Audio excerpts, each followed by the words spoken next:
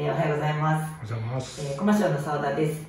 えっと、今日は宝塚の割と会社の近くにあるマンションなんですけども、うん、子供さんが3人はい。いらっしゃいまして、やっぱりあの通常のね、よくある 3LDK っていうマンションです。はい。で、子供さんもそれぞれ年齢がバラバラなので、うんえっと、幼稚園、小学校、中学校で、そろそろ一人部屋が欲しいお年頃になってきまして、えっと、なかなかね、ちょっと3人のお部屋のスペースが取れないということでうん。もうお引っ越ししようかなとか、リフォームしようかなって考えておられました。で、リビングに面している和室と、はい。その隣にある洋間を2つですね、はいそれを壁を取りまして、お3つに分けるという。工事をします。だから各部屋は少しずつ小さくなるんですけど、は狭くても一人部屋ってやっぱり。子供さんにとってはい。憧れのスペースになると思いますんでちょっとそれを実現したいなと思いますただ、はい子供さんもずっとね、うんやっぱり親元にいるとは限らないのでそうですね。一つはね洋間として残せるうん状態にして、うんはい。二部屋は将来ん LDK としてまた取り込めるような。形にしたいなっていうことではちょっといろいろとい。お客様とも工夫して考えておりますでお客様がはい。ほぼアイデアをくださってあ、そうなんですね。私は外さポーズをしてるだけでしたみたいな感じだったんですけど、もう全てお客様のアイデアがいっぱい詰まったう、ん。えーこだわりの子供部屋になるかなと思ってうん楽しみにしてますはい。ありがとうございます、えー子供部屋2部屋から3部屋に分けるという工事完成いたしました、えーこちらは、えー、とお姉ちゃんのお部屋になるんですけどめちゃくちゃ可愛いお星様の壁紙になってます、えー電気を消すと発光するタイプで光が当たってるとゴールドのお星様になってて光がちょっと当たってないところはシルバーみたいな感じになってます、えこちらのお棚はお客様のチョイスのものですごい雰囲気に合っていて素敵です。で床も、えーちょっとグレージュっていう感じの色ですごい可愛いのを選んでいただきました。でここにはもともとパウダースペースで鏡があったところなんですけれどもこちらを、えークローゼットにさせてもらってます。めちゃくちゃいい空間になりました。そしてえーっとドア。このドアの位置もちょっと変わったんですけれども、えー新しい開きドアをつけてこうですね。こちら。ドアを閉めましたらアクセントの壁紙を廊下側に貼ってますあここが、えっと、大きなドアが入るんですけども、はい。ちょっとどうしてもね、うんちっちゃな壁を立てないといけないんですね、はい。でその壁をここに立ち立ててしまったはら、LDK を広く使う時に、い。うん邪魔このちっちゃな壁邪魔だなと思っちゃうので、取り外せるようにするんですよねちょっと初めの動画にもご紹介しましたけどもこのちっちゃな袖壁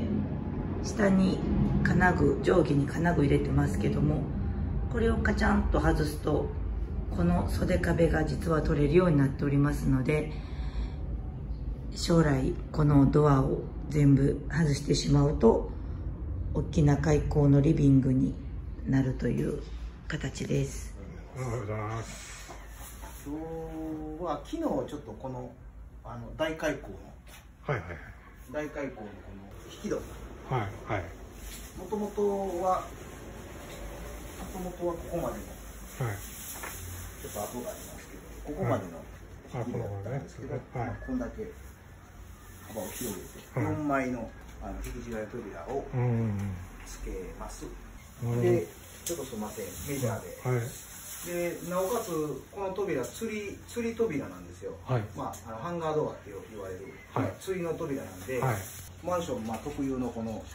まあ、インサート予備のインサート大体あるんで向こうもそうですけど、はいはいはい。あそこもそうですけど、はい。まあ、それを、まあ、あの活用してなるほど。まあ、あの羽子板って言われるねはい金物、はいはい、を入れて持ってきてこれをまあねじ込んで、はいはいでまあ、釣ってレベル見て釣って、はいでなお補強するという、うんなるほど。はい。まあ、ちょっとね釣りのドアはうん。あの後々沈んだり下がったりすることがあるんで。うんもうあのちょっと念には念を入れてうんなるほ釣っとくどこれ方が結構ね12345箇所で900ピッチでうん。しかもあの既存の下地とうん。でなおかつあのあのまあ俗に言われるニーチって言われるちょっとまあちょろっとだけ見えてますけど。ははい。い2 1って。ニーチっていうこのこのこの下地ですねもともとのマンション間柱間仕切りに対してこのニーチっていうのを抱き合わせてはあはでそれにあのまあまあ、このこの合板の下地まはい。たマンション間柱を入れて、あはでまあ、合板で釣ってるみたいな。いなるほどなるほおそらくあの人間10人ぐらいの 支えてる全然大丈夫やと思う、わすごいな。はい、でえっとこちらですね。今可愛いドアが入ってるんですけどもこれは、えーパナソニックさんのクラフトレーベルっていうタイプのドアですごくデザインが素敵なドアになってます。で上にはちょっと、えーちょっとした収納ということで本棚をつけてほしいですということで上にも空間収納ということで、えー空間を利用した収納ということで本棚を付けさせていただきました。で今はここ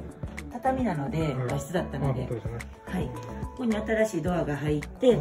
こちらはちょっと今もう養生してしまってますけど、えー、元々のリビングのフローリング、はいこれはもうこのまま使います。でこっちは新しいフローリングが貼られます、はい。でこの間仕切り自体は少しずれるんですけども、こことこことまた続きのフローリングなので、ここにまた見切りを入れて、また違う色のフローリングを貼らせていただく形になります。えードアを閉めるとこういう感じになってなんか外国みたい外国みたいですね。すごいめっちゃ可愛いですでえっと白系にしておりますので、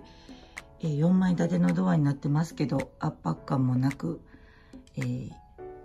ちょっと素敵なドアになってます。でこのガラスも普通の透明とか普通の霞タイプじゃなくてちょっと鱗模様のデザインのガラスになってるのでこれも素敵です。えっとこちらとお隣のこの隣のお部屋の開き扉。ここは2部屋しかなかったんですけども、えー和室和室と洋間をどちらも洋間にして3つに分けるという工事です。最後またあのここに真ん中に